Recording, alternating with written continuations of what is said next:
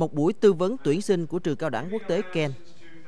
Phụ huynh học sinh được gặp mặt lãnh đạo nhà trường, lãnh đạo các khoa và học thử một số chương trình mẫu trước khi quyết định cho con em du học ngay tại thành phố Hồ Chí Minh.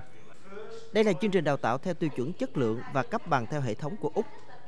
Với các ngành đào tạo quản trị kinh doanh, marketing, phát triển website, đa truyền thông, mức học phí dao động từ 4.200 đến 5.400 đô la Mỹ cho khóa học.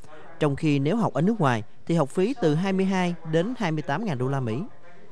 Lợi thế lớn nhất sau khi ra trường, sinh viên đáp ứng được những đòi hỏi cao về trình độ chuyên môn của nhà tuyển dụng và tiếng Anh lưu lót. Ngoài ra, đây còn là bước điểm tốt để sinh viên tiếp tục theo học tại các trường ở nước ngoài. Trước khi ra nước ngoài các em nó phải có kiến thức.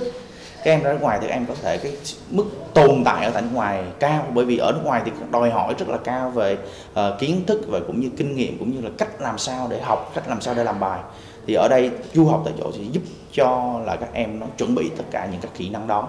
Và khi các em uh, tham gia vào một bất kỳ một trường quốc tế nào ở bên bất kỳ quốc gia nói tiếng Anh nào thì ví dụ như vậy thì các em vẫn có thể làm được tất cả các quy trình và các yêu cầu của trường và họ À, điều đầu tiên thì thứ nhất là em sẽ à, xem xét là chương trình ngành học của trường đó đào tạo những ngành nào. Sau đó là em sẽ tìm hiểu về mức học phí bởi vì có thể tùy từng gia đình. Nếu mà nhiều khi những bạn trẻ đều có ước muốn học trường quốc tế nhưng điều kiện khả năng tài chính về gia đình của bạn đó mà không có khả năng để cho các bạn theo học thì đó cũng là một vấn đề rất là à, suy nghĩ của các bạn.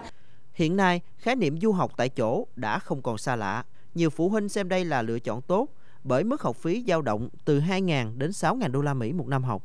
Các trường du học tại chỗ thường dưới hình thức liên kết với các trường đại học nước ngoài để tuyển sinh và đào tạo ngay tại Việt Nam.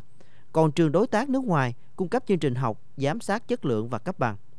Tuy nhiên, vấn đề quan trọng là phụ huynh và học sinh phải sáng suốt lựa chọn cơ sở đào tạo uy tín để tránh những nguy cơ như không được cấp bằng khi tốt nghiệp hay bằng cấp không có giá trị.